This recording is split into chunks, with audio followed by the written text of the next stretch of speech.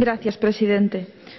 Este grupo parlamentar vai aprobar esta proposición non de lei e vai apoiala, perdón, e vai apoiala porque é de xustiza e porque, como comentábamos agora, xa está en parte aprobada. Se debatiu en 2011 no Congreso das Deputadas e Deputados, foi aprobada e sigue na actualidade sen aplicarse. Unha iniciativa que pre precisamente pedía exixir o 33% eh, que se concedese ese 33% de discapacidade ás persoas diagnosticadas con enfermidades neurodesarrollativas redes generativas con independencia da valoración, polo que aquí mesmo se acaba de explicar, dado que, como xa ten, se ten dito, eh, ten un elevado grado eh, de progresión, eh, sobre todo pues, en algunhas destas enfermidades, porque hai bastante variabilidade en todas as enfermidades neurodegenerativas e, polo tanto, obviamente, esa progresión é un presuizo, polo, polo tanto, obviamente, para a persoa, pero tamén para a, as axudas que posteriormente van a necesitar e que suele desembocar en máis ou menos grao de dependencia.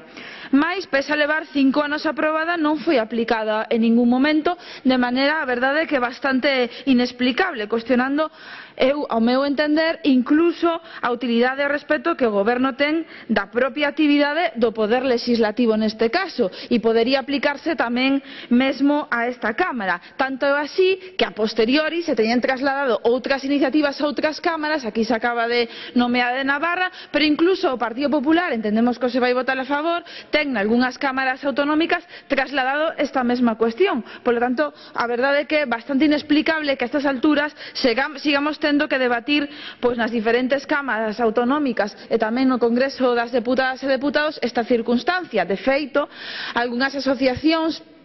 de persoas doentes compareceron tamén na Comisión de Políticas eh, Sociais, creo que foi no Congreso dos Deputados o ano pasado, e seguimos, pois a verdade que absolutamente igual, non?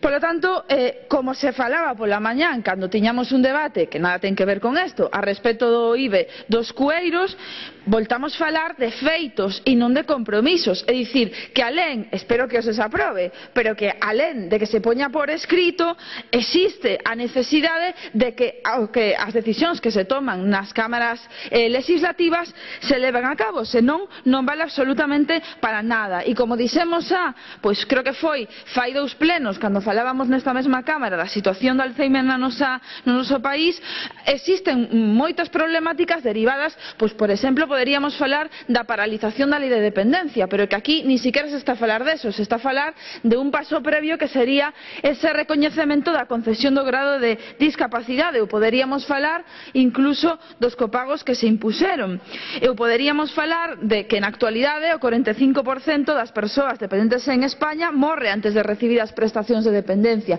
Eu creo que obviamente é unha situación tan lamentable que resulta lastimoso traelo ou ter que continuar traendo a debate porque se debería de ser de xustiza. Pero que o que estamos a debatir nesta iniciativa é mesmo unha situación previa e que estas persoas eh, antes, obviamente, de chegar a ter un grado máis ou menos de dependencia, teñen unha progresión na súa enfermidade que seguramente eh, se podería limitar se tiveresen acceso a uns tratamentos que a día de hoxe pois non poden acceder, obviamente, se non teñen recoñecido certo grado de discapacidade. E, polo tanto, eh, ahora mesmo son as familias nas, na actualidade que teñen que asumir prácticamente todo, a adaptación das súas vivendas, as orteses, as sesións de fisioterapia, terapia, as complementos alimenticios, as terapias ocupacionais e unha serie de eh, aspectos que deberán estar incluídos nas prestacións porque son dereitos das persoas, non son eh, un luxo